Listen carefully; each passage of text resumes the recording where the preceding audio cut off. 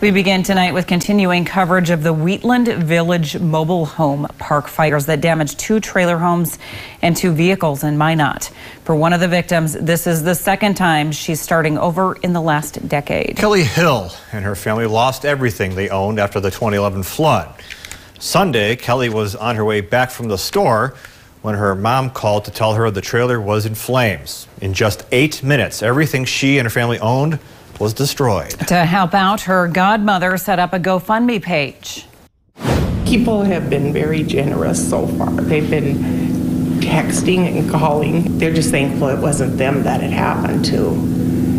And I think, you know, it's going to be another long road for them, but I think they'll be okay. And Olson adds that all of the family's pets were saved. She says all of the family has is the clothes that they were wearing.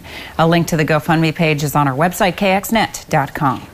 A person was treated for a burn injury after a garage